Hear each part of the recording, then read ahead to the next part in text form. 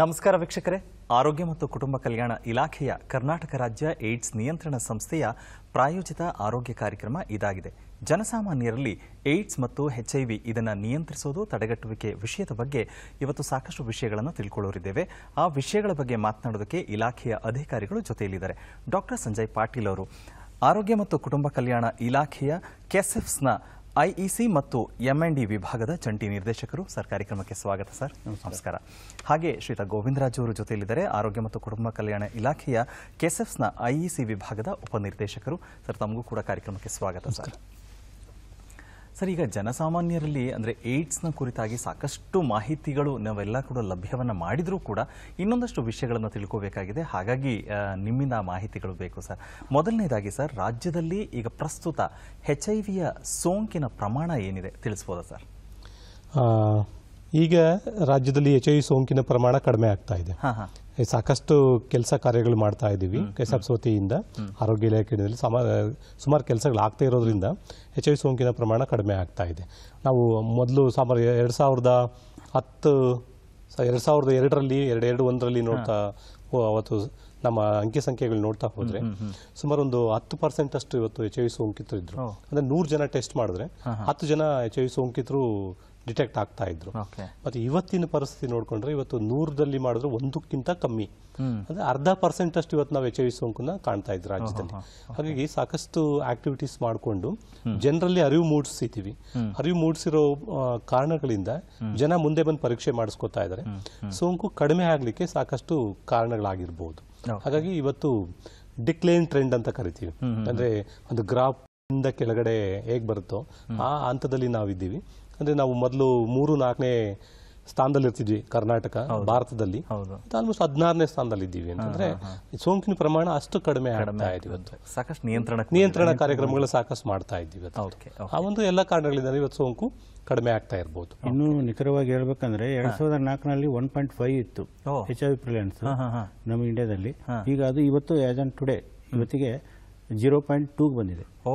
ತುಂಬಾ ಒಳ್ಳೆ ಡೆವಲಪ್ಮೆಂಟ್ ಅಲ್ಲ ಸರ್ ಅಂದ್ರೆ ಕಂಟ್ರೋಲಿಗೆ ಬಂದಿರೋ all over country not only in Karnataka ಇಡೀ ದೇಶದಲ್ಲಿ ಒಳ್ಳೆ ಕಾರ್ಯಕ್ರಮಗಳು ನಡೀತಾ ನಡೀತಾ ಇರೋದ್ರಿಂದ ಟ್ರೆಂಡು ಡಿಸೀಸ್ ಟ್ರೆಂಡು ಕಡಿಮೆ ಆಗ್ತಾ ಇದೆ. ಓಕೆ ಒಳ್ಳೆ ಬೆಳವಣಿಗೆ ಅದು. ಓಕೆ ಸರ್ ಇನ್ನು ಎಂ ಎನ್ ಡಿ ವಿಭಾಗದ ಅಂದ್ರೆ ಆ ಕಾರ್ಯಗಳಿರ್ಬೋದು ಅದ್ರ ಮುಖಾಂತರ ಆಗುವಂಥದ್ದು ಏನದು ಸರ್ ಎಕ್ಸಾಕ್ಟ್ಲಿ ಎಂ ಡಿ ಅಂದರೆ ಯಾವುದೇ ಕಾರ್ಯಕ್ರಮದಲ್ಲಿ ರಾಷ್ಟ್ರೀಯ ಕಾರ್ಯಕ್ರಮದಲ್ಲಿ ಮಾನಿಟರಿಂಗ್ ಅಂಡ್ ಇವ್ಯಾಲ್ಯೂಯೇಷನ್ ಅಂತ ಒಂದು ವಿಭಾಗ ಅದು. ಈಗ ನಮ್ಮ ಕೆಸಾಸ್ನ ಎಂ ಎನ್ ಡಿ ವಿಭಾಗ.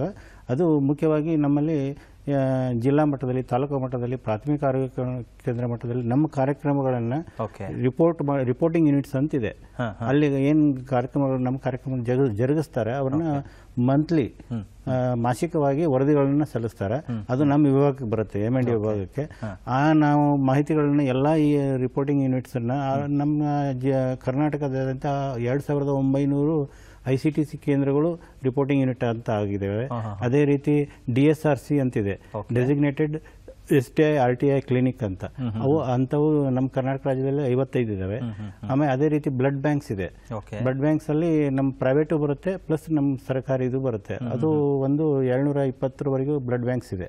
ಈ ಎಲ್ಲ ಕೇಂದ್ರಗಳಿಂದ ಸುಮಾರು ಮೂರು ಸಾವಿರ ಮೂರುವರೆ ಸಾವಿರ ಕೇಂದ್ರಗಳಿಂದ ಪ್ರತಿ ತಿಂಗಳು ಎಲ್ಲ ಕಾರ್ಯಕ್ರಮದ ಮಾಹಿತಿಗಳು ನಮ್ಮ ವಿಭಾಗಕ್ಕೆ ಬರ್ತವೆ. ಅವುಗಳನ್ನು ನಮ್ಮ ವಿಭಾಗದಲ್ಲಿ ಅವ್ರನ್ನ ಕ್ರೋಢೀಕರಿಸ್ತೀವಿ. ಆಮೇಲೆ ಅವ್ರನ್ನ ಅನಾಲಿಸಿಸ್ ಮಾಡಬೇಕಾಗುತ್ತೆ. ಆಮೇಲೆ ಆಯಾ ಕಾರ್ಯಕ್ರಮ ಅಧಿಕಾರಿಗಳಿಗೆ ಯಾಕಂದ್ರೆ ಕೆಸಾಪ್ಸ್ ಅಲ್ಲಿ ಒಂದೇ ಕಾರ್ಯಕ್ರಮ ಅಂತಿಲ್ಲ ಬೇರೆ ಬೇರೆ ವಿಭಾಗಗಳಿದಾವೆ. ಏಳೆಂಟು ಕಾರ್ಯಕ್ರಮಗಳಿದಾವೆ. ಟೆನ್ಷನ್ ನಡೀತಾ ಇರ್ತವೆ. ಆ ಎಲ್ಲ ವಿಭಾಗದ ಮಾಹಿತಿಗಳನ್ನು ಕ್ರೋಢೀಕರಿಸಿ ಆಯಾ ವಿಭಾಗಕ್ಕೆ ನಾವು ಕಳಿಸ್ಕೊಡ್ತಾ ಇದ್ದೀವಿ. ಕಳಿಸ್ಕೊಟ್ಟು ಅಲ್ಲಿ ಏನಾದರೂ ನ್ಯೂನತೆಗಳಿದ್ರೆ ಆ ಏನಾದರೂ ತಪ್ಪು ರಿಪೋರ್ಟಿಂಗ್ ಆಗಿದ್ರೆ ಆ ಲೆವೆಲಲ್ಲಿ ಅವನ್ನ ಸರಿಪಡಿಸೋ ವ್ಯವಸ್ಥೆ ಮಾಡ್ತೀವಿ. ಎರರ್ ರಿಪೋರ್ಟಿಂಗ್ ಏನಾದರೂ ಇದ್ರೆ ವಾಪಸ್ ಅವ್ರನ್ನ ಜಿಲ್ಲೆಗಳಿಗೆ ಅಥವಾ ಆಯಾ ರಿಪೋರ್ಟಿಂಗ್ ಯೂನಿಟ್ಗೆ ನಾವು ಮಾಹಿತಿ ಕೊಟ್ಟು ಅವುಗಳನ್ನ ಸರಿಪಡಿಸಕ್ಕೆ ಹೇಳ್ತೀವಿ. ಆ ಕಾರ್ಯಕ್ರಮ ಹೇಳ್ತಾರೆ ಪ್ಲಸ್ ನಮ್ಮ ಎಂ ಎನ್ ಡಿ ಡಿವಿಷನಿಂದನೂ ಈ ಕೆಲಸ ಆಗುತ್ತೆ. ಓಕೆ. ಇದು ಒಂದು ನಮ್ಮದು ಮುಖ್ಯ ಕಾರ್ಯಕ್ರಮ. ಮಾಹಿತಿಯನ್ನು ಕ್ರೋಢೀಕರಿಸೋದು ಆಮೇಲೆ ಅದನ್ನ ಸಂಬಂಧಪಟ್ಟವರಿಗೆಲ್ಲ ಕರೆಕ್ಷನ್ಗೆ ಏನಾದರೂ ಇದ್ದರೆ ಕಳಿಸೋದು. ಅದೇ ರೀತಿ ನಾವು ಈಗ ನಮ್ಮ ಕೆಸಾಸ್ನ ಕಾರ್ಯಕ್ರಮಗಳಲ್ಲಿ ನ್ಯಾಕೋದಿಂದ ರಾಷ್ಟ್ರೀಯ ಮಟ್ಟದಲ್ಲಿ ಮತ್ತು ರಾಜ್ಯ ಮಟ್ಟದಲ್ಲಿ ಏನಾದರೂ ನಾವು ನಮ್ಮ ಕಾರ್ಯಕ್ರಮ bulletin annual bulletin quarterly bulletin ಅಂತ ಮಾಡ್ತೀವಿ. ಅಂದರೆ ಅಂದ್ರೆ ಕಾರ್ಯಕ್ರಮದ ಪಕ್ಷಿ ನೋಟ. ಯಾವ ರೀತಿ ಕಾರ್ಯಕ್ರಮ ನಡೀತಾ ಇದೆ. ಪ್ರತಿ ಮೂರು ತಿಂಗಳಿಗೆ ಆರು ತಿಂಗಳಿಗೆ ಮತ್ತು ಪ್ರತಿ ವರ್ಷಕ್ಕೆ ಇದು ಒಂದು ನಮ್ಮ ವಿಭಾಗದ ಕಾರ್ಯಕ್ರಮ ಬರುತ್ತೆ. ಅದೇ ರೀತಿ ಇನ್ನೂ ಅತಿ ಮುಖ್ಯವಾದದ್ದು ಅಂದರೆ ಈಗ ನಾವು ಹೇಳಿದೀವಿ ಟ್ರೆಂಡ್ ಹೆಂಗೆ ಕಡಿಮೆ ಆಗ್ತಾ ಇದೆ ಇಯರ್ ಬೈ ಆ ಎನಾಲಿಸಿಸ್ ನಮ್ಮ ವಿಭಾಗದಲ್ಲಿ ಎಚ್ ಎಸ್ ಎಸ್ ಅಂತ ಮಾಡ್ತೀವಿ. ಎಚ್ ಎಸ್ ಎಸ್ ಅಂದ್ರೆ H I V sentinel surveillance ಅಂತ. ಅದು ಪ್ರತಿ ಮುಂಚೆ ಪ್ರತಿ ವರ್ಷ ಮಾಡ್ತಿದ್ರು. ಏನು ಯಾಕೋ ಇದರಲ್ಲಿ ಈಗ ಪ್ರತಿ ಎರಡು ವರ್ಷಕ್ಕೊಮ್ಮೆ ಈ H S S sentinel surveillance ಅನ್ನು ಭಾರತದಾದ್ಯಂತ ಒಂದು ಫಿಕ್ಸ್ ಅವಧಿಯಲ್ಲಿ ಫಿಕ್ಸ್ ಸೆಂಟರ್ಸಲ್ಲಿ ಫಿಕ್ಸ್ ಟೈಮು ಮತ್ತು ಫಿಕ್ಸ್ ಸೆಂಟರ್ಸ್ ನಿಗದಿತ ಸೆಂಟರಲ್ಲಿ ರಾಜ್ಯ ದೇಶಾದ್ಯಂತ ಒಂದು ನಾಲ್ಕು ಸಾವಿರ ಚಿಲ್ಲರೆ ಸೆಂಟರ್ಗಳಲ್ಲಿ ಕಾರ್ಯಕ್ರಮ ಮೂರು ತಿಂಗಳವರೆಗೆ ನಡೆಯುತ್ತೆ ಅಲ್ಲಿ ಅಲ್ಲಿ ಗರ್ಭಿಣಿ ಸ್ತ್ರೀಯರ ರಕ್ತ ತಪಾಸಣೆ ಆಗುತ್ತೆ. ಅದೇ ರೀತಿ ನಮ್ಮ ಹೈ ರಿಸ್ಕ್ ಗ್ರೂಪ್ಸ್ ಅಂತ ಏನಿರ್ತಾರೆ ಅವ್ರದ್ದು ರಕ್ತ ತಪಾಸಣೆ ಮಾಡಿ ಈ ಎರಡು ಗ್ರೂಪ್ಗಳಲ್ಲಿ ಎಚ್ ಐ ವಿ ಈ ಸ್ಥಿತಿ ಯಾವ ಥರ ಇದೆ ಹೆಚ್ಚಾಗ್ತಾ ಇದೆಯಾ ಆಮೇಲೆ ಎಲ್ಲಿ ಹೆಚ್ಚಾಗ್ತಾ ಇದ್ರೆ ಯಾವ ಏರಿಯಾದಲ್ಲಿ ಹೆಚ್ಚಾಗ್ತಾ ಇದೆ ಎಲ್ಲಿ ಕಡಿಮೆ ಆಗ್ತಾ ಇದೆ ನಾವು ಎಲ್ಲಿ ಇಂಟರ್ವೆನ್ಷನ್ ಮಾಡಬೇಕು ಎಲ್ಲಿ ಒತ್ತು ಕೊಡಬೇಕು ಕಾರ್ಯಕ್ರಮದಲ್ಲಿ ಅನ್ನೋ ಒಂದು ಪಕ್ಷಿ ನೋಟ ನಮಗೆ ಸಿಗುತ್ತೆ. ಈ ರೀತಿ ನಾವು ಅನಾಲಿಸಿಸ್ ಮಾಡೋದ್ರಿಂದ ಈ ತಿ ಈ ಕಾರ್ಯಕ್ರಮ ನಾವು ಎರಡು ಸಾವಿರದ first I C M R ಏನಿದೆ Indian Council of Medical Research first start ಮಾಡಿದ್ದು ಹತ್ತೊಂಬತ್ತು ನೂರ ಎಂಬತ್ತೈದರಲ್ಲಿ ಅದು ಭಾಳ ಲಿಮಿಟೆಡ್ ಸೆಂಟರ್ನಲ್ಲಿ ಮಾತ್ರ ಮಾಡಿತ್ತು. ಅದರ ನಂತರ ಅದು ಆಲ್ ಓವರ್ ಇಂಡಿಯಾ ಬೇರೆ ಬೇರೆ ಸೆಂಟರ್ಗಳಲ್ಲಿ ರಾಜ್ಯದಲ್ಲಿ ಹತ್ತೊಂಬತ್ತು ನೂರ ಎಂಬತ್ತ ಏಳರಲ್ಲಿ ಏನು ಸ್ಟಾರ್ಟ್ ಆಯಿತು. ಬಟ್ ಫೇಸ್ ವೈಸ್ ಎಲ್ಲ ಸ್ಟೇಟಲ್ಲಿನೂ ಇನ್ಕ್ರೀಸ್ ಮಾಡ್ತಾ ಹೋದರು. ಈಗ ನಾವು ಎರಡು ಸಾವಿರದ ಇಪ್ಪತ್ತೊಂದರದು ನಾವು ಮೊನ್ನೆ ಮಾರ್ಚಲ್ಲಿ ಸ್ಟಾರ್ಟ್ ಮಾಡಿ ಜೂನಲ್ಲಿ ಎಂಡ್ ಆಯಿತು ಕಾರ್ಯಕ್ರಮ. ಇದು ಹದಿನೇಳನೇ ಸುತ್ತಿನ ಎಚ್ ಎಸ್ ಎಸ್ ಸರ್ವೆಲೆನ್ಸ್ ಅದರ ರಿಸಲ್ಟ್ ಬರೋದು ಜನವರಿ ಕಮಿಂಗ್ ಜನವರಿಯಲ್ಲಿ ಬರ್ಬೋದು ಮುಂದೆ. ಈ ರೀತಿ ಕಾರ್ಯಕ್ರಮ ಯಾವ ಥರ ನಡೀತಾ ಇದೆ ಯಾವ ದಿಶೆಯಲ್ಲಿ ನಡೀತಾ ಇದೆ ಅದು ಎಲ್ಲಿ ಒತ್ತು ಕೊಡಬೇಕು ಅನ್ನೋ ಒಂದು ಅನಾಲಿಸಿಸ್ ಈ ಎಚ್ ಎಸ್ ಎಸ್ ಪ್ರಕ್ರಿಯೆಯಿಂದ ನಮಗೆ ಸಿಗ್ತಾ ಇದೆ. ಅಂದ್ರೆ ಪ್ರತಿಯೊಂದು ಹಂತವನ್ನು ಕೂಡ ಪ್ರತಿ- ಪ್ರತಿಯೊಂದು ಸೂಕ್ಷ್ಮವಾಗಿ ಗಮನಿಸಿ ಅದನ್ನೆಲ್ಲ ರಿಪೋರ್ಟಿಂಗ್ ಇದ್ದೇ ಇರುತ್ತೆ. ಅಂದ್ರೆ ವಾರ್ಷಿಕವಾಗಿ ಅನಾಲಿಸಿಸ್ ಮಾಡಿ ಅದನ್ನೆಲ್ಲ ಮಾಡುವ ಅದಕ್ಕೆ ಒಂದು ಸಾಫ್ಟ್ವೇರ್ ಇದೆ. ನಮ್ದೇ ನಮ್ಮದೇ ಆದ ಕಾರ್ಯಕ್ರಮದ ಸಿಮ್ಸ್ ಅಂತ ಸ್ಟ್ರಾಟಜಿಕ್ ಇನ್ಫಾರ್ಮೇಶನ್ ಮ್ಯಾನೇಜ್ಮೆಂಟ್ ಸಿಸ್ಟಮ್ ಅಂತ. ಅದನ್ನು ಅಪ್ಗ್ರೇಡ್ ಮಾಡಿ ಈಗ ಸೋಚ್ ಅಂತ ಮಾಡ್ತಾ ಇದ್ದಾರೆ. ಓ, ಇದ್ರ ಬಗ್ಗೆನೂ ಭಾರತದಂತೆ ಎಲ್ಲ ರಾಜ್ಯಗಳಲ್ಲಿ ನಾವು ಸಹಿತ ಕರ್ನಾಟಕದಿಂದ ಎಲ್ಲ ಜಿಲ್ಲಾ ಮಟ್ಟದಲ್ಲಿ ನಮ್ಮ ಆರ್ ಯು ರಿಪೋರ್ಟಿಂಗ್ ಯೂನಿಟ್ಸ್ ಇದ್ದಾವೆ ಎಲ್ಲ ಸಿಬ್ಬಂದಿಗಳಿಗೆ ನಾವು ಮಾಹಿತಿಯನ್ನು ಸಹಿತ ಟ್ರೈನಿಂಗು ಆಗ್ತಾ ಇದೆ ಈಗ. Okay okay. ಆಗಲಿ ಸರ್. ಸರ್, ಆಮೇಲೆ ಈಗ ನಿಯಂತ್ರಣಕ್ಕೆ ಬಂದಿರೋವಂಥ ಗ್ರಾಫ್ ನೋಡಿದಾಗ ತುಂಬ ಇಳಿಮುಖ ಅಂತ ಅನ್ನೋದು. ನೋಡಿ, ಕೆಲವು ವಿಚಾರದಲ್ಲಿ ಏರ್ಕೊಂಡು ಹೋಗಬೇಕು ಅಂತಾರೆ, ಆದರೆ ಇಂಥ ವಿಷಯಗಳನ್ನು ಕೇಳಿದಾಗ ಅದು ಇಳಿಮುಖ ಇರಬೇಕು ಅಂತ. ಸೊ ನೀವು ಹೇಳಿದ್ದು ಖುಷಿ ಆಗುತ್ತೆ, ಯಾಕೆಂದರೆ ಇಡೀ ದೇಶದಲ್ಲೇ ಆ ಥರದ್ದು ಇಳಿಮುಖ ಆಗಿದೆ ಅಂತ. ಆದರೆ ಸರ್, ಯಾವ ಕಾರಣಗಳಿಂದ, ಅಂದರೆ ಈಗ ಸರ್ಕಾರ ನೀವು ಏನು ಆರೋಗ್ಯ ಇಲಾಖೆಯಿಂದ ಹಾಕ್ಕೊಂಡಿರುವಂಥ ಈ ಒಂದು ಕಾರ್ಯಕ್ರಮಗಳ ಮುಖಾಂತರನ ಯಾವ ರೀತಿಯಿಂದ ಅದೆಲ್ಲ ಇಳಿಮುಖ ಆಗಿದೆ ಸರ್? ಮುಖ್ಯವಾಗಿ ಸಂತೋಷದ ವಿಚಾರನೆ ಯಾಕಂದ್ರೆ ದೇಶದಲ್ಲಿ ಇದೊಂದು ಪಿಡುಗು ಅಂತ ಸ್ಟಾರ್ಟಿಂಗ್ ಅಲ್ಲೆಲ್ಲ ಇದು ಮಾಡಿದ್ರು ಕನ್ಸಿಡರ್ ಮಾಡಿದ್ರು. ಸೋಂಕು ಬಂದ್ರೆ ಬದುಕೋದೇ ಇಲ್ಲ ಅಂತ ಇತ್ತು ಮೊದಲೆಲ್ಲ. ಇವತ್ತೆಲ್ಲ ಹಂಗೇನಿಲ್ಲ ಇವತ್ತು. ಯಾರು ಬೇಕಾದ್ರೂ ಜನರಲ್ ಆಗಿ ಬದುಕಬಹುದು ಇವತ್ತು. ಎಚ್ ಐ ಸೋಂಕು ಬಂದಿರೋರು ನಮ್ ನಿಮ್ ತರಾನೇ ಬದುಕಬಹುದು ಎಲ್ಲರ ತರನು ಹೆಚ್ಚು ವರ್ಷ ಬದುಕಬಹುದಾಗಿದೆ ಹಾಗಾಗಿ ಆ ಒಂದು ನಿಯಂತ್ರಣ ಕಾರ್ಯಕ್ರಮದ ವಿಚಾರಗಳಲ್ಲಿ ಕರ್ನಾಟಕ ರಾಜ್ಯ ಏಡ್ಸ್ ನಿಯಂತ್ರಣ ಸಂಸ್ಥೆ ಆರೋಗ್ಯ ಇಲಾಖೆ ಅಡಿನಲ್ಲಿ ಕೆಲಸ ಮಾಡ್ತಾ ಸಾಕಷ್ಟು ನಿಯಂತ್ರಣ ನಿಯಂತ್ರಣ ಕಾರ್ಯಕ್ರಮಗಳು ಮಾಡ್ತಾ ಇದ್ದೀವಿ ಅದರಲ್ಲಿ ಐ ಸಿ ಆಕ್ಟಿವಿಟೀಸ್ ಅಂತ ಕರಿತೀವಿ. ಬೇರೆ ಬೇರೆ ತರದಿರ್ಬೋದು. ಲೈಕ್ ನಾವು ತರಬೇತಿಗಳು ನೀಡೋದಿರ್ಬೋದು. ಬೇರೆ ಇಲಾಖೆಗಳ ಸಹಯೋಗ ಪಡ್ಕೊಂಡು ನಾವು ಅಂದ್ರೆ ಎಚ್ ಐ ವಿ ಸೋಂಕು ತಡೆಯೋದು ಬರೀ ಆರೋಗ್ಯ ಇಲಾಖೆ ಕೆಲಸ ಅಲ್ಲ. ಎಲ್ಲಾ ಇಲಾಖೆಗಳು ಸಹಭಾಗಿತ್ವ ಬೇಕು ನಮಗೆ. ಅವಾಗ ಮಾತ್ರ ನಾವು ತಡೀಬಹುದು ಆ ಒಂದು ಸಹಭಾಗಿತ್ವ ಪಡ್ಕೊಂಡಿದ್ವಿ. ಜಾಯಿಂಟ್ ವರ್ಕಿಂಗ್ ಗ್ರೂಪ್ ಮೀಟಿಂಗ್ಸ್ ಅಂತ ಮಾಡ್ತಾ ಇದ್ದೀವಿ.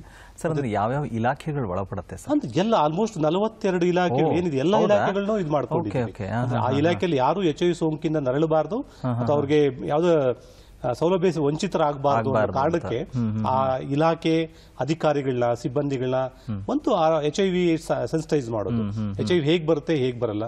ಬಂದ್ರೆ ಏನಾಗುತ್ತೆ? ನಿಮ್ಮಲ್ಲಿ ಯಾರನ್ನ ಇದ್ರೆ ಅವ್ರನ್ನ ಹೇಗೆ ನೋಡ್ಕೋಬೇಕು? ಅವರಿಂದ ನಿಮ್ಗೆ ತೊಂದ್ರೆ ತೊಂದರೆ ಆಗಲ್ಲ. ಎಚ್ ಐ ವಿ ಸೋಂಕಿತರು ಯಾರು ಇದ್ರೆ ಅವ್ರ ಜೊತೆ ಊಟ ಮಾಡ್ಲಿ ಕುತ್ಕೊಳ್ಳಿ ಬಟ್ಟೆ ಹಾಕೊಳ್ಳಿ ಬಾತ್ರೂಮ್ ಯೂಸ್ ಮಾಡ್ಲಿ ತೊಂದರೆ ಅಂತೂ ಆಗಲ್ಲ. ಮತ್ತೆ ಯಾಕೆ ಕಾಳಂಕ ಯಾಕೆ ಮಾಡ್ಬೇಕು ಅವ್ರಿಗೆ? ಈ ಒಂದು ಕಾರಣಗಳನ್ನ ಅವ್ರು ಹೇಳ್ಕೊಡ್ತೀವಿ. ಇದ್ರ ಇದ್ರದ ಮುಂದುವರೆದ ಭಾಗ ಆಗಿ ನಾವು ಸಾಕಷ್ಟು ಆಕ್ಟಿವಿಟೀಸ್ ಮಾಡ್ಕೊಂಡು ಹೋಗ್ತೀವಿ. ಲೈಕ್ ಆಗ್ಲೇ ಹೇಳಿದಾಗ ತರಬೇತಿಗಳೊಂದು ಮೀಟಿಂಗ್ಸ್ ಒಂದಿರ್ಬೋದು. ಆಮೇಲೆ ಬಸ್ ಬ್ರಾಂಡಿಂಗ್ ಅಂತ ಮಾಡ್ತೀವಿ. Whole bus H I V messages ಇದ್ ಮಾಡ್ಬಿಟ್ಟು ಬ್ರಾಂಡ್ ಮಾಡೋದು. ತಿಂಗಳಗಟ್ಟಲೆ ಎಲ್ಲಾ ರೂಟ್ಸ್ ಅಲ್ಲೂ ಓಡ್ತಾ ಇರುತ್ತೆ. ಆ ಜನ ನೋಡ್ತಾರೆ. ಇದ್ರಲ್ಲಿ ಸ್ಕ್ರೀನ್ ಬರ್ತಾ ಇದೆ. ಆ ತರದ ಮೆಸೇಜ್ಗಳನ್ನ ನಾವು ಹಾಕೋದಿರ್ಬೋದು. ಆಮೇಲೆ ಹೋರ್ಡಿಂಗ್ಸ್ ಎಲ್ಲ ಹಾಕ್ತಿವಿ. ಹೊರ ಭಾಗಗಳಲ್ಲಿ ಔಟ್ಡೋರ್ ಮೀಡಿಯಾ ಅಂತ ಬಳಸ್ಕೊಂಡು ಹೋರ್ಡಿಂಗ್ಸ್ ಹಾಕೋದು. ಅದ್ರಲ್ಲಿ ಬೇರೆ ಬೇರೆ ಮೆಸೇಜ್ಗಳು ಆಕ್ಟ್ ಬಂದಿರೋದಿರ್ಬೋದು. ನಮ್ದು P P D C prevention of mother to child ಅಂತ ಇರಬಹುದು ತಾಯಿಗೆ ಸೋಂಕಿದ್ರು ಮಗುಗ್ ಬರ್ದಿರೋದನ್ನ ತಡಿಬಹುದು ಅಂತ ನಾವು ಇವತ್ತು ಪ್ರೂವ್ ಮಾಡಿದ್ದೀವಿ. ತೊಂಬತ್ತೈದು ಪರ್ಸೆಂಟ್ ನಾವು ತಡೆದಿದ್ದೀವಿ. ಹೌದು ಅದ್ರಲ್ಲಿ ತುಂಬಾ ಜನ ಗೊತ್ತೇ ಇರಲಿಲ್ಲ ಹೌದು ಅದನ್ನ ತಡೆದಿದ್ದೀವಿ. ಯಾವುದೇ ಹೆಣ್ಣು ಮಗು ಗರ್ಭಿಣಿ ಹೆಣ್ಮಗಳಿಗೆ ಸೋಂಕಿದ್ರು ಹುಟ್ಟ ಮಗುಗೆ ಬರ್ತಾ ಇಲ್ಲ ಇವತ್ತು. ಅದಕ್ಕೆ ಚಿಕಿತ್ಸೆ ಇದೆ. ಅದನ್ನ ಕೊಡೋದಿರ್ಬೋದು ಆಗುತ್ತೆ. ಜನಪದ ಕಲಾ ತಂಡಗಳನ್ನ ಟ್ರೈನ್ ಮಾಡ್ತಾ ಇದೀವಿ ಮೂವತ್ ಮೂವತ್ತೈದು ತಂಡಗಳನ್ನ ಪ್ರತಿ ವರ್ಷ ಟ್ರೈನ್ ಮಾಡಿ ಪ್ರತಿ ಹಳ್ಳಿ ಹಳ್ಳಿಗೂ ಕಳಿಸ್ಕೊಡ್ತಾ ಇದೀವಿ ಅವರ ಕಲೆ ಮುಖಾಂತರನೇ ಅವರು ಅವ್- ಅವ್ರದ್ದು ಯಾವುದು ಫೋಕ್ ಫಾರ್ಮ್ ಇರುತ್ತೆ. ಲೈಕ್ ಯಕ್ಷಗಾನ ಇರ್ಬೋದು. ಯಕ್ಷಗಾನದ ಮುಖಾಂತರ ಎಚ್ ಐ ಎಸ್ ಮೆಸೇಜ್ ಹೇಳೋದು. ಡೊಳ್ಳು ಕುಣಿತ ಇದ್ರೆ ಡೊಳ್ಳು ಕುಣಿತದ ಮುಖಾಂತರ. ಜನರ ಜನರನ್ನ ಅಟ್ರಾಕ್ಟ್ ಮಾಡೋದಿರ್ಬೋದು ಜನರ ಸೇರ್ಬೇಕು ಜನ ಹೆಚ್ಚು ಜನ ಮಾಹಿತಿ ಪಡ್ಕೋಬೇಕು. ಈ ಒಂದು ಕಾರಣಗಳಲ್ಲಿ ಪಾಂಪ್ಲೆಟ್ಸ್ ಇದು ಮುದ್ರಣ ಮಾಧ್ಯಮಗಳ ಮೂಲಕ ಮತ್ತೆ ಟಿವಿ ಮಾಧ್ಯಮ ರೇಡಿಯೋ ಮಾಧ್ಯಮ ಹೀಗೆ ಬೇರೆ ಬೇರೆ ಮಾಧ್ಯಮಗಳನ್ನ ನಾವು ಬಳಸ್ಕೊಂಡು ಎಚ್ ಐ ವಿ ಸೋಂಕನ್ನ ಕಡಿಮೆ ಮಾಡ್ತಾ ಇದೀವಿ. ರಾಜ್ಯದಲ್ಲಿ ಹಾಗೆ ಆಗ್ತಾ ಇದೆ ದೇಶದಲ್ಲೂ ಆಗ್ತಿದೆ ಇದು. ಕೇಂದ್ರ ಸರ್ಕಾರದ ನಮ್ಮ ಪ್ರಾಯೋಜಿತ ಕಾರ್ಯಕ್ರಮ ನಮ್ಮದು ಹಣಕಾಸಿನ ನೆರವು ನಮಗೆ ಕೇಂದ್ರ ಸರ್ಕಾರ ಕೊಡ್ತಾ ಇದೆ ರಾಜ್ಯ ಸರ್ಕಾರ ನಮಗೆ ಸಪೋರ್ಟ್ ಮಾಡ್ತಾ ಇದೆ.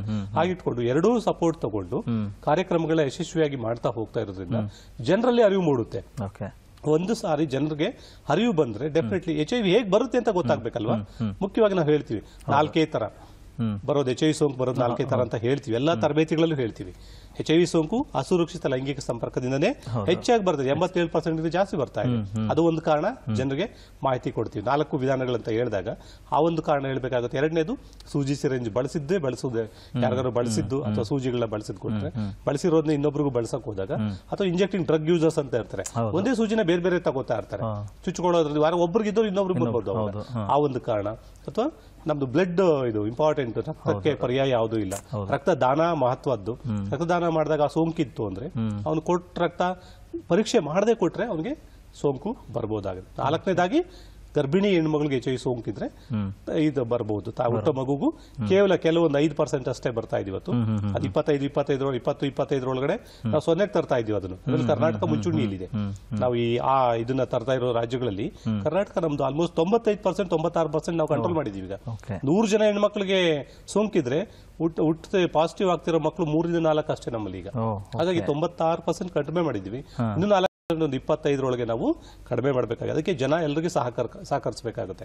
ಜನ ತಿಳ್ಕೋಬೇಕು ಮಾಹಿತಿ ತಿಳ್ಕೋಬೇಕು ಅದನ್ನ ಅವರು ಅಡಾಪ್ಟ್ ಮಾಡ್ಕೋಬೇಕು ಬೇರೆಯವ್ರಿಗೂ ಹೇಳ್ಬೇಕು. ಬರೀ ನಾವು ತಿಳ್ಕೊಂಡು ಅಥವಾ ನಾವು ಇಟ್ಕೊಂಡ್ರೆ ಆಗೋದಿಲ್ಲ. ಅವರು ಫಸ್ಟ್ ನಾನು ನಾನು ರಿಕ್ವೆಸ್ಟ್ ಮಾಡೋದೇನಂದ್ರೆ ಜನ ಅವರು ತಿಳ್ಕೊಂಡು ಅವ್ರ ಮನೆಯಲ್ಲಿ ಫಸ್ಟ್ ಎಜುಕೇಟ್ ಮಾಡ್ಲಿ. ಎಚ್ ಐ ವಿ ಅಂದ್ರೆ ಏನು ಹೇಗ್ ಬರುತ್ತೆ? ಮಕ್ಕಳಿಗೆ ಇವತ್ತು ತುಂಬಾ ಅವಶ್ಯಕತೆ ಇದೆ. ಇವತ್ತು ನಾವು ಕಾಲೇಜು ಹೈಸ್ಕೂಲ್ ಮಟ್ಟದಲ್ಲೆಲ್ಲ ಕಾರ್ಯಕ್ರಮಗಳು ಮಾಡ್ತಾ ಇದ್ದೀವಿ. ಲೈಫ್ ಸ್ಕಿಲ್ ಎಜುಕೇಶನ್ ಅಂತ high school college P U ಕಾಲೇಜಲ್ಲಿ ಮಾಡ್ತಾ ಇದ್ದೀವಿ. ರೆಡ್ ರಿಬನ್ ಕ್ಲಬ್ಸ್ ಮುಖಾಂತರ ಡಿಗ್ರಿ ಕಾಲೇಜುಗಳೆಲ್ಲ ಆಕ್ಟಿವಿಟಿ ಮಾಡ್ತಾ ಇದ್ದೀವಿ. ಹಾಗಿದ್ದಾಗ ಅವ್ರಿಗೆಲ್ಲ ತಿಳಿಸ್ಕೊಂಡು ಅವ್ರು ತಿಳ್ಕೊಂಡು ಬೇರೆಯವ್ರಿಗೆ ತಿಳಿಸಿದ್ರೆ ಡೆಫಿನೆಟ್ಲಿ ಇದನ್ನ ನಾವು ಎಪ್ಪತ್ತು ಮೂವತ್ತರೊಳಗೆ ಎರಡ್ ಸಾವಿರದ ಮೂವತ್ತರೊಳಗೆ ನಾವು ಸೊನ್ನೆಗೆ ತರಬೇಕಾಗಿದೆ. ಯಾವುದೇ ಒಂದು ಹೊಸ ಸೋಂಕು ವ್ಯಕ್ತಿಯಿಂದ ಇನ್ನೊಬ್ಬರಿಗೆ ಹರಡಬಾರದು. ಆ ಗುರಿ ಇಟ್ಕೊಂಡು ನಾವು ರಾಜ್ಯ ನಮ್ಮ ಕೇಂದ್ರ ಸರ್ಕಾರ ಇಟ್ಕೊಂಡಿದೆ. ಅದನ್ನ ನಾವು ಯಶಸ್ವಿಯಾಗಿ ಫಾಲೋ ಮಾಡ್ತಾ ಇದ್ದೀವಿ. ಆ ನಿಟ್ಟಿನಲ್ಲಿ ಬೇರೆ ಬೇರೆ ಕಾರ್ಯಕ್ರಮಗಳ ಮೂಲಕ ನಾವು ಎಚ್ ಐ ವಿ ಸೋಂಕು ನಾವು ಇವತ್ತು ಕಡಿಮೆ ಮಾಡಿದ್ದೀವಿ. ಖಂಡಿತ ಸರ್. ಯಾಕೆಂದ್ರೆ ಸರ್ಕಾರ ಎಲ್ಲ ನಿಟ್ಟಿನಲ್ಲಿ ಏನಂತ ಹೇಳಿದ್ರೆ ಅದರಲ್ಲೂ ಆರೋಗ್ಯದ ವಿಷಯ ಅಂತ ಹೇಳಿದಾಗ ತುಂಬಾ ಕಾಳಜಿ ವಹಿಸಿ ಆರೋಗ್ಯ ಮತ್ತು ಕುಟುಂಬ ಕಲ್ಯಾಣ ಇಲಾಖೆ ಮುಖಾಂತರ ಅದರ ಅಡಿಯಲ್ಲಿ ಬರುವಂತ ಎಲ್ಲಾ ವಿಂಗ್ಗಳಿರ್ಬೋದು ತುಂಬಾ ಪ್ರಾಮಾಣಿಕವಾದ ಕೆಲಸ ಮಾಡ್ತಾ ಇರೋದ್ರಿಂದ ಈ ಬದಲಾವಣೆಗಳನ್ನ ಕಾಣ್ತಾ ಇರೋದು. ಸರ್ ಹಾಗಿದ್ರೆ ಇವಾಗ ಏಡ್ಸ್ ನಿಯಂತ್ರಣಕ್ಕೆ ಬಂದಿದೆ ಅನ್ನೋ ನಿರ್ಧಾರನ ಯಾವ ರೀತಿಯಾಗಿ ನೀವು ತೆಗೆದುಕೊಳ್ಳಕ್ಕೆ ಸಾಧ್ಯ ಇದೆ ಸರ್? ಅದೇ ಈಗ ನಾವು ಒಂದು ಕಾರ್ಯಕ್ರಮ ಸಕ್ಸಸ್ ಆಗಬೇಕಂದ್ರೆ ಅದನ್ನ ಪರಾಮರ್ಶೆ ಮಾಡ್ತೀವಿ ನಾವು. ಅದೇ ರೀತಿ ನಮ್ಮ ಈ ಕಾರ್ಯಕ್ರಮವನ್ನ ಆಗ್ಲೇ ಹೇಳಿದಂಗೆ H S S central surveillance ಅಂತ ಏನು ಮಾಡ್ತೀವಲ್ಲ ಪ್ರತಿ ವರ್ಷನೂ ನಾವು ನಿಗದಿತ ಅವಧಿಯಲ್ಲಿ ನಿಗದಿತ ಒಂದು ಸೆಂಟರ್ಗಳನ್ನು ನಾವು ಆಯ್ಕೆ ಮಾಡ್ಕೊಂಡಿದ್ದೀವಿ. ಕರ್ನಾಟಕದಲ್ಲಿ ಎಲ್ಲೆಲ್ಲಿ ಮಾಡಬೇಕು? ನಮ್ಮಲ್ಲಿ ಗರ್ಭಿಣಿ ಸ್ತ್ರೀಯಲ್ಲಿ ಮಾಡೋಕ್ಕೆ ಕೇಂದ್ರ ಸರ್ಕಾರದವ್ರು ನೆಕೋದವರು ಅರವತ್ತೆರಡು ಸೆಂಟರ್ಗಳು ಪ್ಲಸ್ ಒಂಬತ್ತು ಟೋಟಲ್ ಸೆವೆಂಟಿ ಒನ್ ಗರ್ಭಿಣಿ ಸ್ತ್ರೀಯರಿಗಾಗಿ ಟೆಸ್ಟ್ ಮಾಡುವಂಥ ಸೆಂಟರ್ಗಳಿದ್ದಾವೆ. ಅದೇ ರೀತಿ ಹೈ ರಿಸ್ಕ್ ಗ್ರೂಪ್ಸ್ ಅಂತ ಏನಿದೆ ಅದು ಮೂವತ್ತೆಂಟಿದೆ ನಮ್ಮ ಕರ್ನಾಟಕ ರಾಜ್ಯದಲ್ಲಿ. ಈ ಪ್ರತಿ ವರ್ಷ ಈ ಸೆಂಟರ್ಗಳಲ್ಲಿ ನಾವು ಎರಡು ವರ್ಷಕ್ಕೊಮ್ಮೆ ಈ ಎಚ್ ಎಸ್ ಎಸ್ ಕಾರ್ಯಕ್ರಮವನ್ನು ಮಾಡ್ತಿದ್ವಿ. ಇಲ್ಲಿ ಏನು ಮಾಡ್ತೀವಿ ಅಂದ್ರೆ ಅವಾಗ ಬಂದವರನ್ನ ಒಂದು ನಮ್ಮ ಒಂದು ಫಿಕ್ಸ್ಡ್ ಇದಿದೆ ಫಾರ್ಮ್ಯಾಟ್ಸ್ ಇದೆ. ಆ ಪ್ರಕಾರ ಅವ್ರನ್ನ ಕಾರ್ಯಕ್ರಮದಲ್ಲಿ ಅವ್ರನ್ನ ಎಂಟ್ರಿ ಮಾಡ್ಕೊಂಡು ಅವ್ರ ಬ್ಲಡ್ ಸ್ಯಾಂಪಲ್ಸ್ ಕಲೆಕ್ಟ್ ಮಾಡ್ಕೊಂತೀವಿ. ಅವುಗಳನ್ನು ಮುಂದಿನ ಪ್ರೊಸೆಸ್ ಮಾಡೋಕ್ಕೆ ನಮ್ಮ S R L N R L ಅಂತ ನಮ್ಮ ಲ್ಯಾಬೊರೇಟರೀಸ್ ಇದ್ದಾವೆ. ಅಲ್ಲಿ ಅದನ್ನು ಕಳಿಸಿ ಕಳಿಸಿ ಅದರ ಏನು ಎಷ್ಟು ಪಾಸಿಟಿವ್ ಎಷ್ಟು ಜನ ಪಾಸಿಟಿವ್ ಬಂದರು ಎಷ್ಟು ಸ್ಯಾಂಪಲ್ ಕಲೆಕ್ಷನ್ ಅಲ್ಲಿ. ಒಂದು ಗರ್ಭಿಣಿ ಸ್ತ್ರೀಯರಿಗೆ ನಾವು ಒಂದು ನಾಲ್ಕುನೂರು ಟಾರ್ಗೆಟ್ ಕೊಟ್ಟಿದ್ದಾರೆ. ನಾಲ್ಕುನೂರು ಜನಕ್ಕೆ ಪ್ರತಿ ಸೆಂಟರ್ನಲ್ಲಿ ನಾವು ಗರ್ಭಿಣಿ ಸ್ತ್ರೀಯರನ್ನ ಇದನ್ನ ಮಾಡ್ತೀವಿ. ಅದೇ ರೀತಿ ಎಚ್ ಆರ್ ಜಿ ಸೆಂಟರಲ್ಲಿ ಏಳ್ನೂರ ಐವತ್ತು ಜನಕ್ಕೆ ಟೆಸ್ಟ್ ಮಾಡೋಕ್ಕೆ ಟಾರ್ಗೆಟ್ ಕೊಟ್ಟಿದ್ದಾರೆ. ಈ ರೀತಿ ದೇಶಾದ್ಯಂತ ಬೇರೆ ಬೇರೆ ಒಂದು ಐದರಿಂದ ಆರು ಸಾವಿರ ಸೆಂಟರ್ಸ್ಗಳಲ್ಲಿ ಈ ರೀತಿ ಕಾರ್ಯಕ್ರಮ ಒಂದು ನಿಗದಿತ ಅವಧಿ ಒಳಗೆ ನಡೆದು ಆ ಎಲ್ಲ ಸ್ಯಾಂಪಲ್ಗಳನ್ನು ಲ್ಯಾಬೊರೇಟರಿಗೆ ಕಳಿಸಿ ಅಲ್ಲಿ ಅವುಗಳನ್ನು ಪ್ರೊಸೆಸ್ ಮಾಡಿ ಅಲ್ಲಿ ಬಂದಂಥ ರಿಸಲ್ಟನ್ನು ರೀಜನಲ್ ಇನ್ಸ್ಟಿಟ್ಯೂಟ್ಸ್ ಅಂತಿದೆ. ಕರ್ನಾಟಕದ್ದು ನಮ್ಮದು it is attach to N I Chennai National Institute of Epidemiology ಚೆನ್ನೈಯಲ್ಲಿ. ಅದು ಕರ್ನಾಟಕಕ್ಕೆ ಸ ದಕ್ಷಿಣ ಭಾಗ ಭಾರತ ಭಾಗದ ಆರು ಜಿಲ್ಲೆ ಸ್ಟೇಟ್ಗಳನ್ನು ಅದಕ್ಕೆ ಕೊಟ್ಟಿದ್ದಾರೆ. ಈ ಎಲ್ಲ ಮಾಹಿತಿ ರೀಜನಲ್ ಇನ್ಸ್ಟಿಟ್ಯೂಟ್ ಕಡೆಯಿಂದ ಮತ್ತೆ ನ್ಯಾಕೋಗೆ ಸೆಂಟ್ರಲ್ಗೆ ಹೋಗಿ ಅಲ್ಲಿ ಎಲ್ಲ ಡಾಟಾ ಅನಾಲಿಸಿಸ್ ಆಗಿ ಇಡೀ ಭಾರತದ ಡಾಟಾ ಈ takes time three to four months time ತಗೊಳುತ್ತೆ. ಅದಕ್ಕೆ ಈಗ ನಾವು ನಮ್ದು ಕಾರ್ಯಕ್ರಮ ಅದು ಮುಗಿದಿದೆ ಈ ವರ್ಷದ ಇಪ್ಪತ್ತೊಂದದ್ದು. ನಾವು ಮುಗಿದ್ರು ಸಹಿತ ನಮಗೆ ರಿಸಲ್ಟ್ ಬರೋದು ಜನವರಿವರೆಗೂ ಆಗ್ಬೋದು. ಈ ರೀತಿ ಇದರಲ್ಲಿ ನಮಗೆ ಗೊತ್ತಾಗುತ್ತೆ ವರ್ಷ ಹೋದ ನಾವು ಎಚ್ ಎಸ್ ಎಸ್ ಅಲ್ಲಿ ನಮ್ದು ಇನ್ಸಿಡೆನ್ಸು ಪ್ರಿವಿಲೆನ್ಸ್ ಆಫ್ ಡಿಸೀಸ್ ಅಂತ ನಾವು ಹೇಳ್ತೀವಿ ನಮ್ಮ ಮೆಡಿಕಲ್ ಟರ್ಮಿನಾಲಜಿ ಆದರೆ ಇನ್ಸಿಡೆನ್ಸ್ ಅಂದರೆ ಈಗ ಒಂದು ನಿಗದಿತ ಪ್ರದೇಶದಲ್ಲಿ ಇದ್ದಂಥ ಪಾಪ್ಯುಲೇಷನ್ ಅಥವಾ ಜನಸಂಖ್ಯೆಯಲ್ಲಿ ಆ ಡಿಸೀಸ್ ಆ ಏನು ಡಿಸೀಸ್ನ ಇವರು ಎಷ್ಟಿದೆ ಅನ್ನೋದು ಒಂದು ಸಿಗುತ್ತೆ ಮಾಹಿತಿ. ಅದು ಹೋದ ವರ್ಷ ಎಷ್ಟಿತ್ತು? ಈ ವರ್ಷ ಎಷ್ಟಾಗಿದೆ? ಜಾಸ್ತಿ ಆಗಿದೆ ಹೋದ ವರ್ಷಕ್ಕಿಂತ ಕಡಿಮೆ ಆಗಿದೆ. ಕಂಪ್ಯಾರಿಟಿವ್ಲಿ ನಾವು ನಮ್ಮ ಕಾರ್ಯಕ್ರಮ ಯಾವ ರೀತಿ ನಡೀತಾ ಇದೆ? ಚೆನ್ನಾಗಿ ಆಗ್ತಾ ಇದೆ ಅಂದರೆ ಕಡಿಮೆ ಆಗಿದ್ರೆ ಚೆನ್ನಾಗಿದೆ ಅಂತ ಅರ್ಥ ಆಗುತ್ತೆ. ಇನ್ಕ್ರೀಸ್ ಆದರೆ ಈ ವರ್ಷ ಇನ್ಕ್ರೀಸ್ ಆಯಿತು. ಅದೇ ಎರಡು ವರ್ಷದಿಂದ ಕಡಿಮೆ ಆಗಿತ್ತು. ನಾವು ಆ ಇನ್ಕ್ರೀಸ್ ಆಗೋಕ್ಕೆ ಮತ್ತೆ ಕಾರಣಗಳು ಹೊಸ ಕಾರಣಗಳು ಏನಿದಾವೆ? ಇನ್ಕ್ರೀಸ್ ಆಗಿದ್ರೆ ಯಾವ ಪ್ರದೇಶದಲ್ಲಿ ಅದು ಹೆಚ್ಚಾಗ್ತಾ ಇದೆ? ಅಲ್ಲಿ ನಾವು ನಮ್ಮ ಕಾರ್ಯಕ್ರಮದ ಹೆಚ್ಚು ಬಜೆಟ್ ಅನ್ನು ಒತ್ತು ಕೊಟ್ಟು ಅಲ್ಲಿ ಹೆಚ್ಚು ಐ ಸಿ ಕಾರ್ಯಕ್ರಮಗಳನ್ನು ಒತ್ತು ಕೊಟ್ಟು ಆ ಪ್ರದೇಶಕ್ಕೆ ನಾವು ಅನುಗುಣವಾಗಿ ನಾವು ಹೊಸ ಕಾರ್ಯಕ್ರಮಗಳನ್ನು ನಾವು ನಿಗದಿಪಡಿಸಿ ನಮ್ಮ ಕಾರ್ಯಕ್ರಮವನ್ನು ಅಲ್ಲಿ ಮತ್ತೆ ಯಥಾಸ್ಥಿತಿಗೆ ತರುವುದು ಅಥವಾ ಅದನ್ನು ಇಂಪ್ರೂವ್ಮೆಂಟ್ ಮಾಡೋಕ್ಕೆ ಪ್ರಯತ್ನ ಮಾಡ್ಬೋದು. Okay this is the one of the okay sir ಆಮೇಲೆ ಈಗ ಯಾರು ಅಂದರೆ ಪಾಸಿಟಿವ್ ಬಂದಿರೋವಂಥವ್ರು ಇರ್ತಾರೆ ಅವ್ರನ್ನ ಗುರುತಿಸ್ತೀರಾ ಸರ್ಕಾರದ ಏನಿದೆ ಇದೆಲ್ಲವನ್ನು ಕೂಡ ತಿಳಿದಾದ್ಮೇಲೆ ಅವರು ಈಗ ಯಾವುದೇ ಒಂದು ರೋಗ ಅಂತ ಹೇಳಿದಾಗ ಫಾಲೋ ಅಪ್ ಅನ್ನೋದೊಂದು ಕಂಪಲ್ಸರಿ ಇರುತ್ತೆ. ಸೊ ಅದನ್ನು ಅವರು ಸರಿಯಾಗಿ ಬಂದು ಮಾಡಿಸ್ಕೊಳ್ತಾ ಇದ್ದಾರಾ ಅಥವಾ ಏನು ಮಾಡ್ತಿದ್ದಾರೆ? ಇದನ್ನೆಲ್ಲ ಮಾಡೋದಕ್ಕೆ ನಿಮ್ದು ಅಂದರೆ ಯಾವ ರೀತಿ ತಂಡ ಕೆಲಸ ಮಾಡುತ್ತೆ ಸರ್ ಈಗ ನಮ್ಮದು ಕೆಸಾಪ್ಸ್ ಕಾರ್ಯಕ್ರಮದಲ್ಲಿ ಅಥವಾ ಇದು ನಮ್ಮ ಎಚ್ ಐ ಏಡ್ಸ್ ಕಾರ್ಯಕ್ರಮದಲ್ಲಿ ನಮ್ಮದೇ ಸಿಬ್ಬಂದಿಗಳು ಓಕೆ. ಕೆಲಸ ಮಾಡ್ತಾ ಇದ್ದಾರೆ. ಫೀಲ್ಡ್ ಲೆವೆಲಲ್ಲಿ. ಪಿ ಎಸ್ ಸಿ ಲೆವೆಲ್ ಆಯಿತು ಜಿಲ್ಲಾ ಮಟ್ಟದಲ್ಲಿ ಆಯಿತು ತಾಲೂಕು ಮಟ್ಟದಲ್ಲಿ ಆಯಿತು ಅಲ್ಲಿ ಒಬ್ರು ಕೌನ್ಸಿಲರ್ ಅಂತ ಇರ್ತಾರೆ ಟೆಸ್ಟಿಂಗ್ ಲ್ಯಾಬೊರೇಟರಿಯಲ್ಲಿ ಒಬ್ರು ಲ್ಯಾಬ್ ಟೆಕ್ನಿಷಿಯನ್ ಅಂತ ಇರ್ತಾರೆ ಅಲ್ಲಿ ಸ್ಥಳೀಯ ವೈದ್ಯಾಧಿಕಾರಿಗಳನ್ನ ಅದಕ್ಕೆ ಇನ್ಚಾರ್ಜ್ ಮೆಡಿಕಲ್ ಆಫೀಸರ್ ಅಂತ ಮಾಡ್ತಾರೆ. ಜಿಲ್ಲಾ ಲೆವೆಲ್ದಲ್ಲಿ ಡ್ಯಾಪ್ಕೋ ಅಧಿಕಾರಿಗಳು ಅಂತಾನು ನಾವು ಇದು ಒಬ್ಬರನ್ನ ಅಧಿಕಾರಿನ ನೇಮಿಸಿ ಅವರು ಜಿಲ್ಲೆಯಲ್ಲಿ ನಡೆಯುವಂಥ ಈ ಎಚ್ ಐ ವಿ ನಿಯಂತ್ರಣ ಕಾರ್ಯಕ್ರಮದ ಮುಖ್ಯ ಇವರು ಇರ್ತಾರೆ. ಅವರ ಅಂಡರ್ ಅಲ್ಲಿ ಸುಪ್ರಬದಿಯಲ್ಲಿ ಒಬ್ಬ ಡಿಸ್ಟಿಕ್ ಸೂಪರ್ವೈಸರ್ ಅಂತ ಇರ್ತಾರೆ ಮೇಲ್ವಿಚಾರಕರು. ಆಮೇಲೆ ಇನ್ನೇಳು ಸಪೋರ್ಟಿಂಗ್ ಸ್ಟಾಫ್ ಜಿಲ್ಲಾ ಮಟ್ಟದಲ್ಲಿ ಡ್ಯಾಪ್ಕೋ ಯೂನಿಟ್ ಅಂತ ಒಂದಿದೆ ಓಕೆ ಅವ್ರ ಅಂಡರ್ನಲ್ಲಿ ಈ ಜಿ- ಆಯಾ ಜಿಲ್ಲೆಯಲ್ಲಿ ಕಾರ್ಯಕ್ರಮ ನಡೀತಾ ಇದೆ.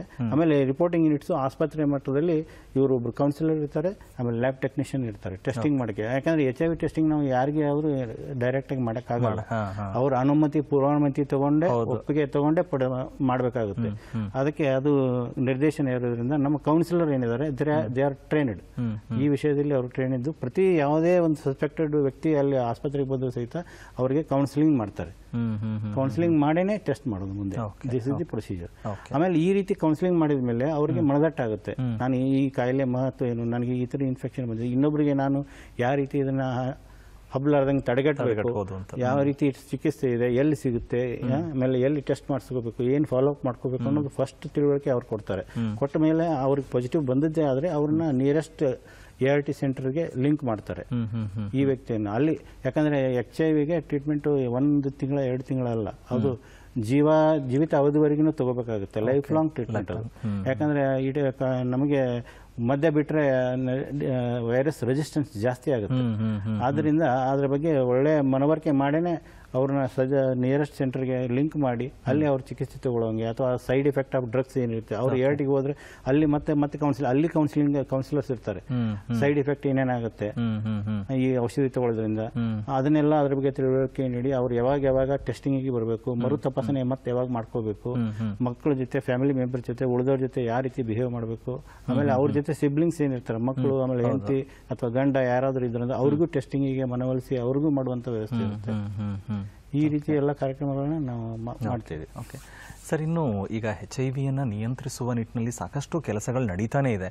ಆದರೂ ಅಂದರೆ ಕೆಲವು ಜನರಿಗೆ ಗೊತ್ತಿಲ್ಲ. ಈಗ ನಮ್ಮ ಸಂಚಿಕೆ ನೋಡ್ತಾ ಇರ್ತಾರೆ. ನೋಡೋರಿಗೆ ತಿಳ್ಕೋಬೇಕು ಅಂತ ಹೇಳಿದ್ರೆ ಸರ್ಕಾರ ಈ ನಿಯಂತ್ರಣಕ್ಕೋಸ್ಕರ ಹಾಕ್ಕೊಂಡಿರುವಂಥ ಕಾರ್ಯಕ್ರಮಗಳ ಬಗ್ಗೆ ಹೇಳ್ಬೋದಾ ಸರ್ ಮುಖ್ಯವಾಗಿ ಸಾಕಷ್ಟು ಕಾರ್ಯಕ್ರಮಗಳಿದೆ. ಎಚ್ ಐ ಬಿ ನಿಯಂತ್ರಣಕ್ಕೋಸ್ಕರನೇ ಮುಖ್ಯವಾಗಿ ನಾವು ಮಾಡ್ತಾ ಇರೋದು ಒಂದು ಪ್ರಿವೆನ್ಷನ್ ಪಾರ್ಟ್.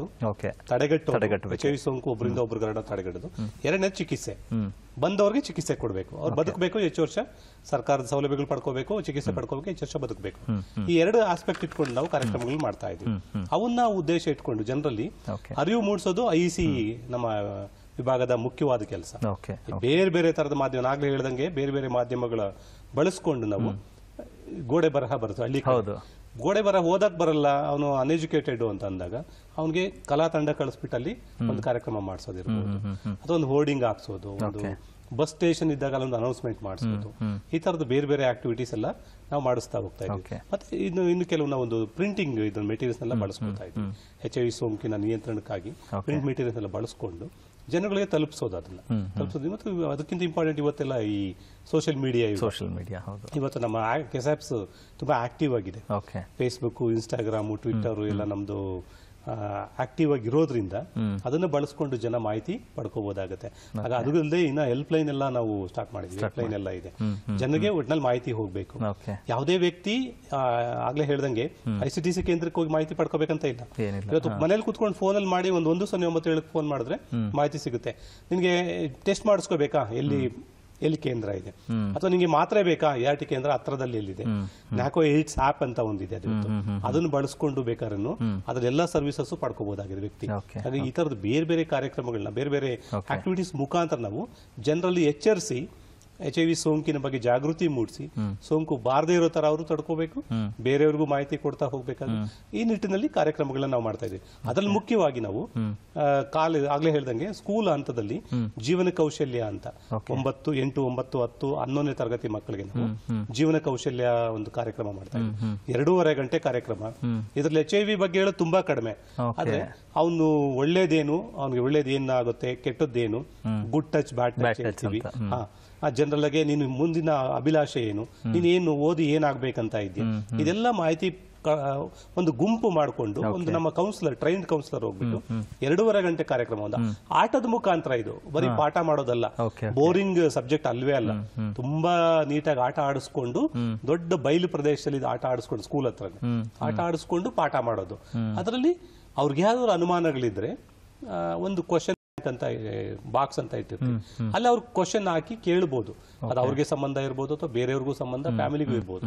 ಅಲ್ಲಿ ಕೇಳಿ ಅದನ್ನ ಕ್ಲಾರಿಫೈ ಮಾಡ್ಕೋಬಹುದು ಅವ್ನಿಗೇನು ಅದ ಅದೇ ಸಿಂಪ್ಟಮ್ಸ್ ಯಾವ್ದಾದ್ರು ಇತ್ತು ಅಂದ್ರೆ ನಿಯರೆಸ್ಟ್ ಐ ಸಿ ಟಿ ಸಿಗೆ ರೆಫರ್ ಮಾಡ್ಲಿಕ್ಕೆ ನಮ್ದು ಸರ್ವಿಸಸ್ ಅಲ್ಲಿ ಮಾಡ್ತಾರೆ. ಅದು ಒಂದು ಹಂತದಲ್ಲಿ. ಎರಡನೇ ಹಂತದಲ್ಲಿ ಕಾಲೇಜು ಮಟ್ಟದಲ್ಲಿ. ರೆಡ್ ರಿಬನ್ ಕ್ಲಬ್ಸ್ ಅಂತ ಒಂದು ಒಂದೂವರೆ ಸಾವಿರಕ್ಕಿಂತ ಹೆಚ್ಚು ಕಾಲೇಜುಗಳಲ್ಲಿ ನಾವು ಇವತ್ತು ಸ್ಟಾರ್ಟ್ ಮಾಡಿದ್ದೀವಿ. ಉದ್ದೇಶ ಮೂರು ಮುಖ್ಯವಾದ ಉದ್ದೇಶ ಇಟ್ಕೊಂಡು ನಾವು ರೆಡ್ ರಿಬನ್ ಕ್ಲಬ್ಸ್ನ ಫಾರ್ಮ್ ಮಾಡಿದ್ವಿ ಅದರಲ್ಲಿ ಒಂದು ಎಚ್ ಐ ವಿ ಏಡ್ಸ್ ಬಗ್ಗೆ ಅರಿವು ಮೂಡಿಸೋದು. ರೆಡ್ ರಿಬನ್ ಕ್ಲಬ್ಗೆ ಮೆಂಬರ್ ಆದವರೆಲ್ಲನ ಅವರು ಮಾಹಿತಿ ಪಡ್ಕೊಂಡು ಬೇರೆಯವ್ರಿಗೆಲ್ಲ ಮಾಹಿತಿ ಕೊಡೋದು. ಒಂದು ಕಾರ್ಯಕ್ರಮ. ಎರಡನೇದು ಅವರು ಅಲ್ಲಿಂದ ಪಡ್ಕೊಂಡು ಮಾಹಿತಿನ ಬೇರೆಯವ್ರಿಗೆ ಕೊಡೋದು ಮತ್ತೆ ರಕ್ತದಾನದ ಬಗ್ಗೆ ಮಹತ್ವದ ಬಗ್ಗೆ ಮಾಹಿತಿ ಪಡ್ಕೊಳ್ಳೋದು ದಾನ ಮಾಡೋದು. ಅಟ್ಲೀಸ್ಟ್ ನಾವು ಗಂಡಸರು ಮೂರು ತಿಂಗಳಿಗೊಮ್ಮೆ ಹೆಣ್ಮಕ್ಳು ನಾಲ್ಕು ತಿಂಗಳಿಗೊಮ್ಮೆ ಆರೋಗ್ಯವಂತರು ಹದಿನೆಂಟು ವರ್ಷ ತುಂಬಿರೋ ನಲವತ್ತೈದು ಕೆಜಿ ಇದ್ದು ಹನ್ನೆರಡೂವರೆ ಗ್ರಾಮ್ಗಿಂತ ಎಚ್ ಬಿ ಜಾಸ್ತಿ ಯಾರು ಬೇಕಾದ್ರೂ ದಾನ ಮಾಡ್ಬೋದು. ಗಂಡಸರು ಮೂರು ತಿಂಗಳಿಗೊಮ್ಮೆ ಹೆಣ್ಮಕ್ಳು ನಾಲ್ಕು ತಿಂಗಳು. ಅಟ್ಲೀಸ್ಟ್ ನಾವು ರಿಕ್ವೆಸ್ಟ್ ಮಾಡೋದು. ಅಟ್ಲೀಸ್ಟ್ ನಿಮ್ಮ birthday one time one time ಮಾಡಿ. ರಕ್ತಕ್ಕೆ ಪರ್ಯಾಯ ಏನು ಇಲ್ಲ. ಅದ್ ಆ ಕಾನ್ಸೆಪ್ಟ್ ಇಟ್ಕೊಂಡು ನಾವು ಕಾಲೇಜು ಹಂತದಲ್ಲಿನೇ ಮಕ್ಕಳನ್ನ ರಕ್ತದಾನದ ಮಹತ್ವದ ಬಗ್ಗೆ ಮಾಹಿತಿ ಕೊಡ್ತಾ ಹೋಗ್ತೀವಿ ರೆಡ್ ರಿಬನ್ ಕ್ಲಬ್ ಮೂಲಕ. ಮೂರನೇದು ನಾವು ನಮ್ಮ ಈವೆಂಟ್ಸ್ ಬರುತ್ತೆ. ರಕ್ತದಾನ ದಿನಾಚರಣೆ ದಾನಿಗಳ ದಿನಾಚರಣೆ ಮತ್ತೆ ವಿಶ್ವ ಏಡ್ಸ್ ದಿನ ಈ ಮತ್ತೆ youth day national youth day international youth day ಈ ಡೇಗಳ ಇಂಪಾರ್ಟೆನ್ಸ್ನ ಜನಗಳಿಗೆ ಮಾಹಿತಿ ಕೊಡೋದು. ಈ ಮೂರ್ ನಾಲ್ಕು ಕಾರ್ಯಕ್ರಮಗಳು ಇಟ್ಕೊಂಡು ನಾವು. ಬೇರೆ ಬೇರೆ ಆಕ್ಟಿವಿಟೀಸ್ನ ರಾಜ್ಯದಾದ್ಯಂತ ಎಫೆಕ್ಟಿವ್ ಆಗಿ ಇಂಪ್ಲಿಮೆಂಟ್ ಮಾಡ್ತಾ ಹೋಗ್ತೀವಿ. ಓಕೆ ಸರ್ ಇನ್ನು ಹೆಚ್ ಎಸ್ ಎಸ್ ಸರ್ವೆಲೆನ್ಸ್ ಹಾಗಂದ್ರೆ ಏನು sir H S S surveillance ಅಂದರೆ H I V sentinel surveillance ಅಂತ. ಓಕೆ ಇದು ನಮ್ಮ ರೂಢಿ ಭಾಷೆ ಹೇಳ್ಬೇಕಂದ್ರೆ ಒಂದು ಸರ್ವೆ ಇದ್ದಂಗೆ. ಸರ್ವೆ ಮಾಡಿದಂಗೆ. ಓಕೆ. ಅಂದರೆ ಈ ಎಚ್ ಐ ವಿ ಡಿಸೀಸ್ ಪ್ರಗತಿ ಪಕ್ಷಿ ನೋಟ ಯಾವ್ದು ಅದೇ ಆಗಲೇ ನಾವು ಹೇಳ್ದಾಗೆ. ಹೆಚ್ಚಾಗ್ತಿದೆ ಕಡಿಮೆ ಆಗ್ತಿದೆ ಯಾವ ಪ್ರದೇಶದಲ್ಲಿ ಹೆಚ್ಚು ಕಡಿಮೆ ಎಲ್ಲಿದೆ ಅನ್ನೋದು ಒಂದು ರಿಪೋರ್ಟ್ ನಮಗೆ ಸಿಗುತ್ತೆ. ಆಮೇಲೆ ನಾವು ಎಲ್ಲಿ ಫೋಕಸ್ ಕೊಡಬೇಕು ಆಮೇಲೆ ಮುಂದಿನ ನಮ್ಮ ಈ ಮುಂದಿನ ವರ್ಷದ ಕಾರ್ಯಕ್ರಮಗಳನ್ನ ನಾವು ಯಾವ ರೀತಿ ಸಕ್ಸಸ್ಫುಲ್ ಆಗಿ ನಡ್ಸ್ಕೊಂಡು ಹೋಗ್ಬೇಕು ಅನ್ನೋದು ಮಾಹಿತಿ ಆಗಲೇ ಹೇಳ್ದಂಗೆ ಈಗ ಕರ್ನಾಟಕ ಬಹಳ ಉತ್ತಮ ಸಾಧನೆಯನ್ನು ಮಾಡ್ತಾ ಇದೆ. ಈಗ ನಮ್ಮ ಎಚ್ ಎಸ್ ಎಸ್ ಪ್ರಕಾರ ಪ್ರಿವಿಲೆನ್ಸ್ ನಮ್ಗೆ ರೇಟ್ ಸಿಗುತ್ತೆ. ನಮ್ಮ ಭಾರತದ prevalence as on today G ನಮ್ಮದು zero point zero point two four ಇದೆ. ನಮ್ಮ ಕರ್ನಾಟಕದ್ದು ಜೀರೋ ಪಾಯಿಂಟ್ ಟೂ ಟೂ ಇದೆ. ಓ. We are better than national ಇದು ಎವರೇಜ್ ಆ ಥರ ಆಗಲೇ ಡಿಸ್ಕಷನ್ ಮಾಡಿದಂಗೆ ಮುಂಚೆ ನಾವು ನಾಲ್ಕನೇ ಪೊಸಿಷನಲ್ಲಿ ಇದ್ದೀವಿ. ಈಗ ಹದಿನಾರನೇ ಪೊಸಿಷನ್ಗೆ ನಾವು ಬಂದಿದ್ದೀವಿ. ಅಂದರೆ ಕಾರ್ಯಕ್ರಮ ಒಳ್ಳೆ ರೀತಿ ನಡೀತಾ ಇರೋದ್ರಿಂದ ನಮ್ಮದು ಇದು ಇಂಪ್ರೂವ್ಮೆಂಟ್ ಆಗ್ತಾ ಇದೆ. ಓಕೆ ಸರ್ ಹೆಚ್ ಐ ವಿಯ ತಡೆಗಟ್ಟುವಿಕೆಗೆ ಸರ್ಕಾರ ತೊಗೊಂಡಿರುವಂಥ ಗುರಿಗಳೇನೇನು ಸರ್ ಅದೇ ಸರ್ಕಾರ ಮುಖ್ಯವಾಗಿ ಸರ್ಕಾರದ ಕಾರ್ಯಕ್ರಮಗಳೇ ನಡೀತಾ ಇರೋದು. ಮುಖ್ಯವಾಗಿ ಇವತ್ತು ಚಿಕಿತ್ಸೆ ಕೊಡ್ತಾ ಇದೆ. ಯಾರು ಎಚ್ ಐ ಸೋಂಕಿತರಾಗಿದ್ರೆ ಚಿಕಿತ್ಸೆ. ಇನ್ನು ಸಾಮಾಜಿಕ ಸೌಲಭ್ಯಗಳಿದೆ. ಎಚ್ ಐ ಸೋಂಕಿತರಿಗೆ ಸಾಕಷ್ಟು ರೀತಿ ಸಾಮಾಜಿಕ ಸೌಲಭ್ಯಗಳನ್ನ ಕೊಡ್ತಾ ಹೋಗ್ತಾ ಇದ್ವಿ. ಅವರು ಜೀವನ ಮಾಡಬೇಕು. ಅವ್ರಿಗೆ ಒಂದು ಮನೆ.